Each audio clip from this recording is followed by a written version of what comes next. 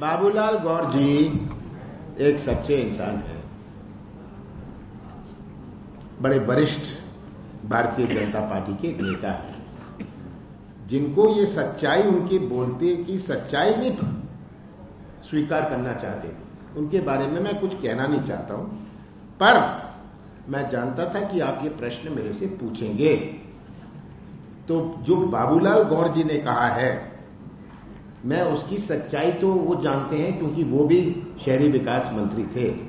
सबसे ज़्यादा पैसा पूरे देश में, मध्य प्रदेश को मेरे कार्यकाल में जब मैं शहरी विकास मंत्री था।